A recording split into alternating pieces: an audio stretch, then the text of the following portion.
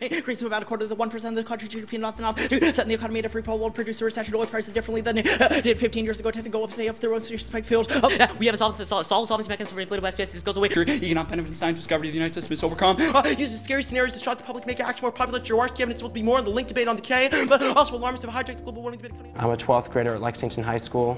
I've been involved in the policy debate team for all four years of my high school experience. I've been doing debate since my freshman year. I didn't sign up for it originally, but when I was placed in it, I discovered a world of uh, crazy international relations and nuclear war and all kinds of other bizarre things that I just grew to love, and I've been debating ever since. We Lost by renewable promise price of this carry, and three even a small change in capacity demand for big prices even the U.S. succeeded on roughly covering demand for oil prices. Frankly, I think policy debate scares a lot of people. System, no extinction from climate change. I've seen 11 evidence indicates the temperature has increased 4 degrees in the last 60 years. The sea levels risen by 3, by 3 meters, and there's no, no evidence in broad scale uh, extinction due to global warming, which is the reason why global warming will increase in the next 50 years. And it's very high paced, very fast.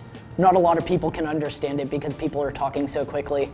And if they did understand what we were actually saying, they'd figure out that it was all kinds of crazy scenarios from uh, Ashtar Galactic Commands and several different ways to lead to extinction.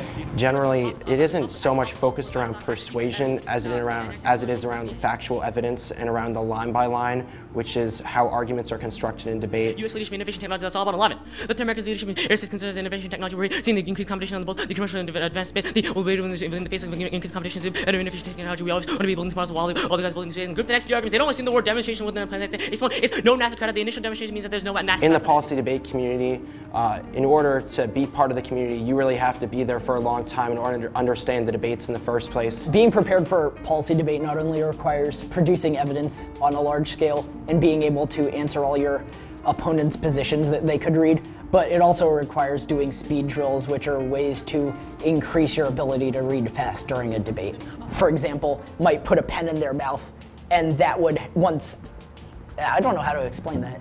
This is that's really weird. Why do we do that? The U.S. airspace sector presents negative potential is the U.S. partially to domestic airspace employment stream. And the most stressful and hardest thing about debate for me is just finding the time to find all the evidence to answer all my opponent's arguments. It seems like all your internal link evidence uh, is no, from 2008. I'm planning on debating in college, but I don't really know what else I'm going to do. It doesn't isolate a specific water war, yeah, however, thanks. it does isolate uh, Let's talk about the critique for a second. Let's talk about water. your like for evidence for a second. Where does it... Big fuel division, they gave to do Hartman, high price, heated Russian economy, the fight for 11 as hundred spikes to spy for uh, crude to 105, that's uh, helping drive oil fall profit, the new for Russian economy, rising prices, destroying up the...